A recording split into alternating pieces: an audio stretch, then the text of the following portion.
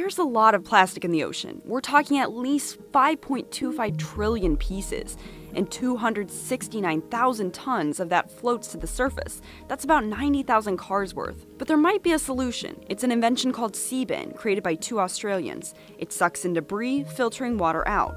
And because the Seabin floats on the surface, fish aren't harmed. Keep in mind that it takes somewhere between 450 and 1,000 years for plastic to decompose. And all this plastic is endangering wildlife, messing with our water supply and the environmental balance. Currently, Seabin is still in crowdfunding stages, but it's gotten attention on social media. For Newsy, I'm Melissa Prax.